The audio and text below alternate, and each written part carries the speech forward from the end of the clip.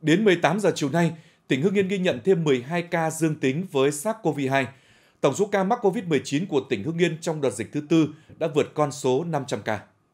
Trong đó, huyện Yên Mỹ tiếp tục ghi nhận một ca ở cùng phòng trọ với trường hợp F0 quê ở Hà Nam ghi nhận hôm trước.